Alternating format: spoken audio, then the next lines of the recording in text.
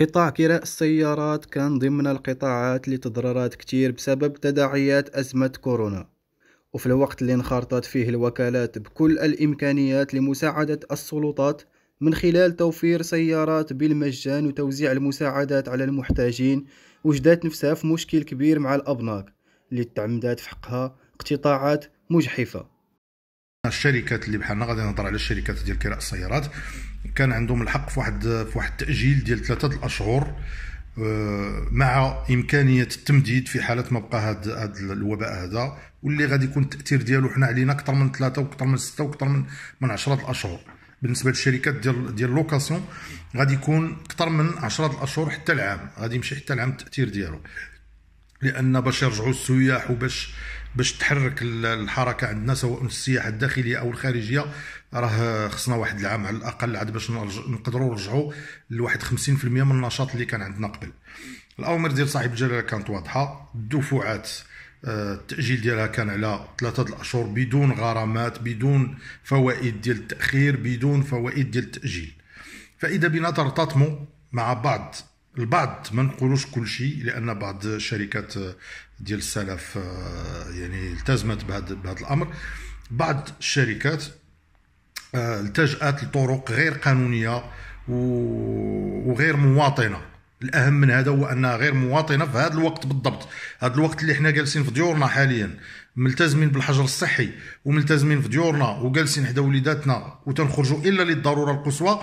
فهاد الشركات تتصل بنا يوميا باش نمشيو ونخلصوا لها هاد هاد الأقساط. وإلا بغينا التأخير فرضوا علينا أننا نسنيو معاهم واحد ال contrat اللي فيها أننا خصنا نخلصوا غرامات ديال التاخير ولا غرامات ديال التأجيل ولا des frais de dossier ولا ما عرفناش شنو هما. التصرفات اللامهنية واللا مسؤوله لمؤسسات القروض والبنوك التي تعاكس التوجهات الكبرى للبلاد وتعاكس التوجهات السامية لجلالة الملك ولجنة اليقظة الاقتصادية والاجتماعية وتقوم بمراسلات لمؤسساتنا في جميع بقاع المغرب من طنجة إلى القويرة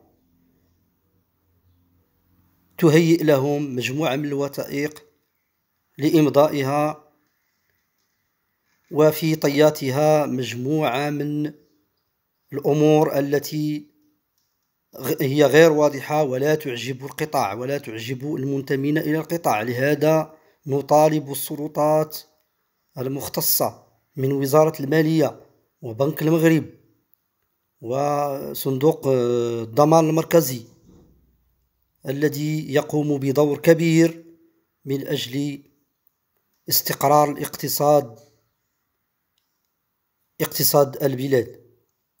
نحن في منازلنا نحترم الحالة الطوارئ الصحية ولكن ندين هذه التصرفات التي آه،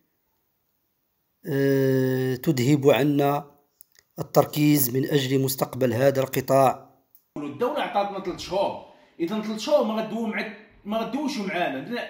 نهائيا ما عندكمش حق تدور معنا تتحيد هاد ثلاث شهور ويتحيد هاد المرض ويتحيد هادشي وإن شاء الله غيكونوا الحلول. ماشي كل نهار مصدعين عباد الله. بحال هكا أنت. باش نوريك أنا الواضح. بحال هكا ها أنت. بحال ها أنت. نوريه في الكاميرا باش يشوف. ها أنت شوف. شوفوا عباد الله هاد الناس دابا هاد الناس علاش كيقلبوا؟ ها انت كل نهار مصيفطين لك ها انت.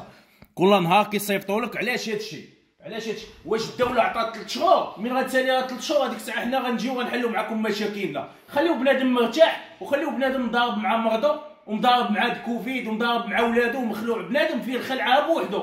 بلا هادي بلا هادي. نتوما أكثرية الناس ديال الجنوب محنينهم. غايب هذا message كنوصلو من الناس ديال الجنوب. حنا كجمعيات وكفيدراليات وكنقابات وحنا من ألو دوستو الحمد لله كلشي كيدور كنقول للإخوان الله يرحم بها الوالدين لا ما خليو هادشي غادي ينقال حتى يتحل.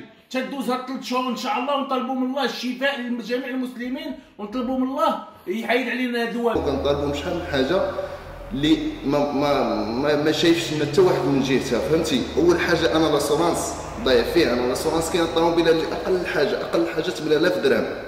أقل حاجة اللي كنضيعوا فيها فهمتي وكاين الكراجات اللي كاين وكاين ال parc والدراري اللي خدامين معاك. هادشي كاع حنا ما, شفناش. أنا الطوموبيلات دابا أنا كاينة في النهار اللي كطيح ليا شحال الطوموبيل شحال في النهار غير ديال لاسونانس عاد نشوفوا حنايا لا خصك القروض خصك تخلصهم لا خصك هادي فهمتي؟ يعني أنا هادشي كان كنهضر بالنيابة ديال كاع الاصدقاء ديالي. جهة العيون بوجدور الساقية الحمراء فهمتي؟ كنهضر بالنيابة ديالهم كاملين باللي مضرين مضرين مضرين حنا ما بقيناش كنتشوفوا كنشوفوا نهضروا بالتليفون باش بالضرر ديالنا حتى واحد ما قادر يخرج ومضرين بزاف.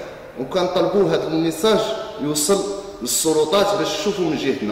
السلام عليكم الاخوان معكم صاحب وكالة كراء السيارات.